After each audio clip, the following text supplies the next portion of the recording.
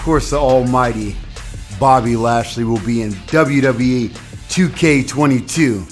So pick me or get beat down. I told 2K to make my rating a thousand, but they said they couldn't. So here's the number they came up with